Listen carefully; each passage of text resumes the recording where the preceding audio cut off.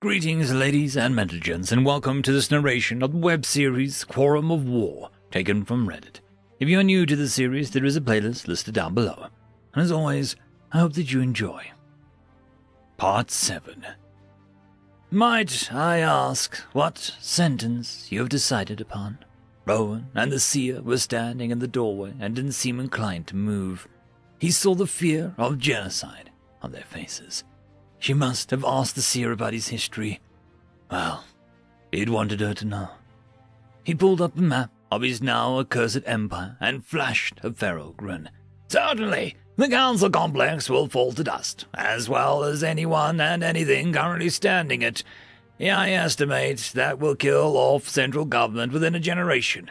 Those who sentence our children to death will be wiped from the planet. He expanded the map. For the rest, I am banishing them from space until the newest of their newborns has fallen to old age. Not a ship, not a satellite, or a signal will be permitted to leave any of their worlds. They shall fall into silence until the last of these responsible have died. I will be announcing it to them tomorrow and give them a few months to land.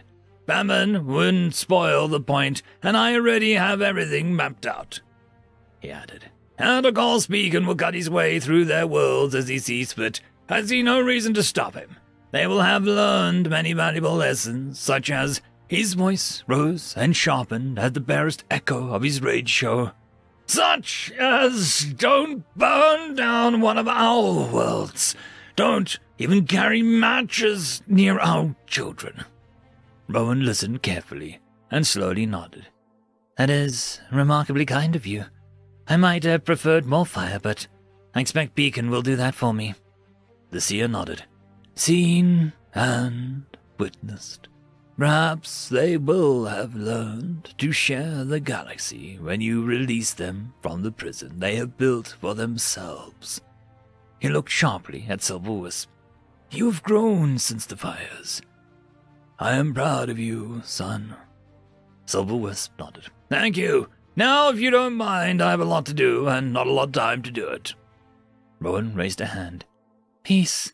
I asked the seer to show me your memories, to understand why you became a creature of metal and war. You are correct that I was a child, although it didn't feel like a childhood. I saw forests burn, but I didn't see the war. I didn't see the price you paid when you left the green for the black that you broke the bodies of our enemies and used the cold metal to build something better. I did not know that this ship was made from the corpses of our enemies so that you could guard our green spaces. I simply wanted to say thank you. She bowed low and headed towards the great trees that he had grown upon the enemy dead. She wondered what she was supposed to feel because she actually felt herself strike the bare metal floor a little harder and smile. A faint smell of burning that always seemed to be in the air now explained. Beacon got a call from Earth.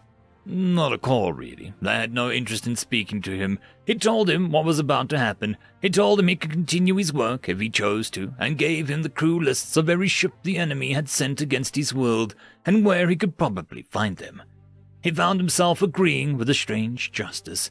He'd never met the Silver Wisp, but he got the sense that he had carried a knife in his day and had become something more. For now, he had a blade and a battleship to kill. Silver Wisp knelt and carefully brushed the dirt from the fourth altar that had been recovered from the destroyed planet.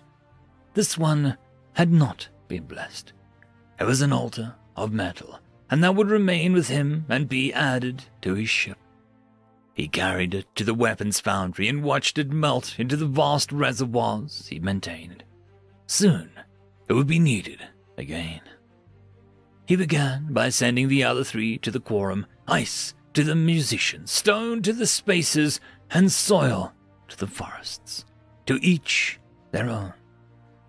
Then he began casting the interdictors, the battleship sized machines that would enforce the sentence he was about to pass.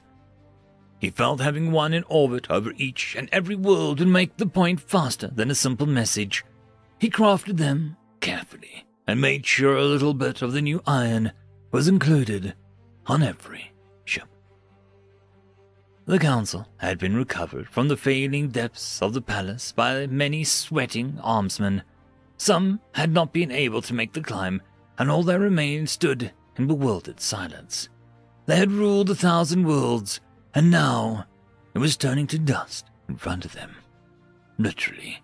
They had seen the cracks spread, the fall of much of the edifice, and now they found the chamber itself was simply gone. Now, it was in their clothes, in their scales and fur. The human disease was eating them alive. The human thing appeared. They had long since lost track of the hours. Their screens had failed long ago. They simply stood in bitter silence. Silverwisp looked at the tattered remains of the vicious government, killers of children. He laughed. it sucks, doesn't it? Someone you never met, never offended, suddenly seeks you out and destroys everything you care about. It's a much simpler when you didn't know that we would find you, that it was bigger than you could imagine, that it could happen to you. You have damned yourselves, even as you sat and read reports of strange creatures on the edge of your space and thought to kill them. We have done the same. Each and every one of your people will know of your failure. Some will even pray that your children die young so that they may return to space. No, the time is set and we will meet your people when the last of you is gone.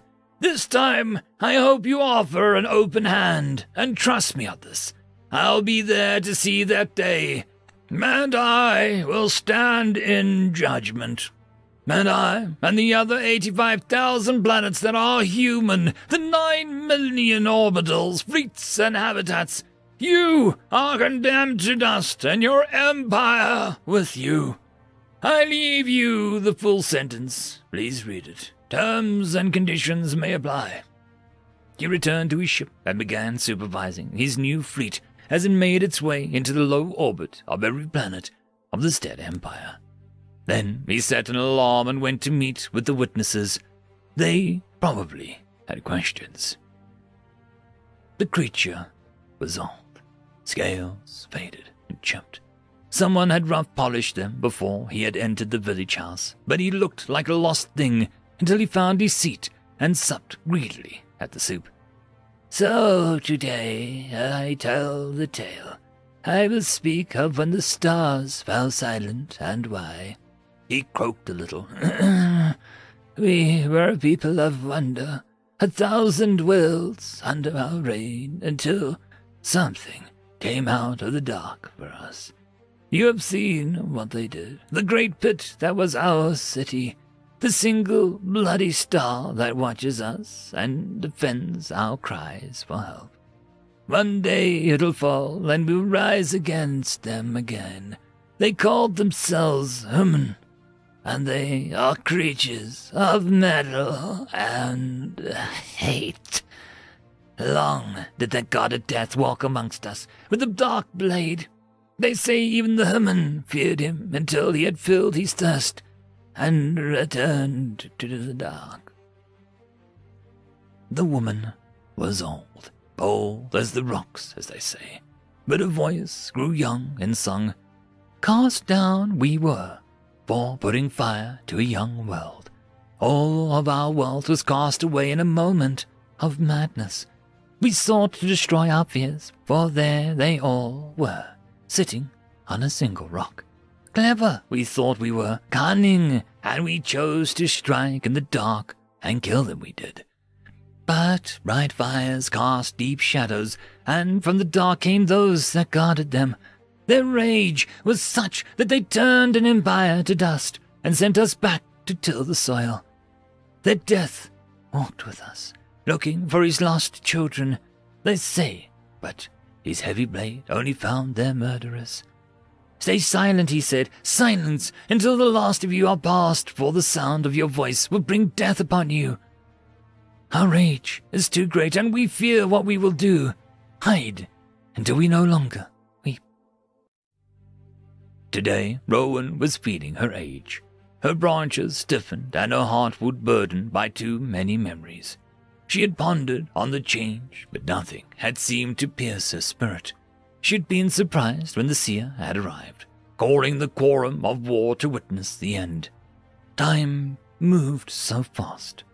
They sat above the sealed worlds, the one that had, in their long forgotten past, dared to burn a human world. She felt only sadness. How long has it been? It seems an age ago. The seer nodded. To us, a couple of hundred years, give or take. To them, an eternity. Silverwisp sent them back to a new beginning. She waved at the scanner. Where is he? He said that he would be here for this.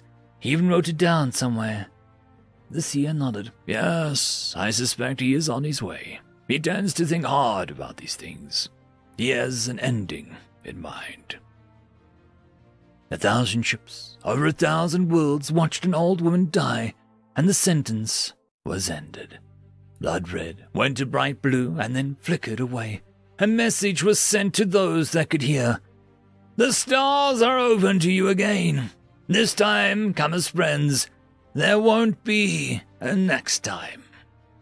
A thousand ships, all one, all shattered and waiting, watching and unforgiving, but the alarm rang and the summons came. Over the council planet, they met and melded. The one that guarded the green spaces was becoming whole once again. They watched as a thousand ships collided, as the light became greater than the sun. Rowan smiled, and the leaves rustled wildly as she squeaked, He's home. She turned with a look at the seer. You don't need to tell him I said that. The seer bowed and merely glanced into the future. It was good that his son would find such happiness. End of chapter. The algorithm reckons you should be watching this video next, and I recommend that you should be always watching my video. So, click, click, click, with energy! And yes, clicking that does help the channel. Thank you very much. I'd just like to give a quick thanks to the T5 channel members and patrons, Alithia, Parky, Fudic Meridian117, Cam Maxwell, Casper Arnholtz, Angry Marine, Lord Azrekahl, and White Van 420.